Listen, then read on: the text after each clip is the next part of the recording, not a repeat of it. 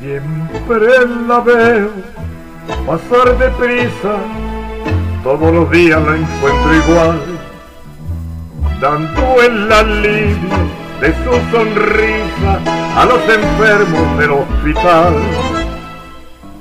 La enfermerita, sumisa y buena, piadosa, humilde, sentimental, que llega al lecho del que agoniza buscando alivio para su mal.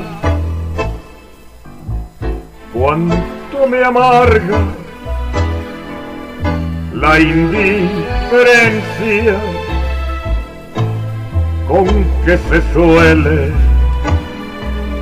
premiar tan mal.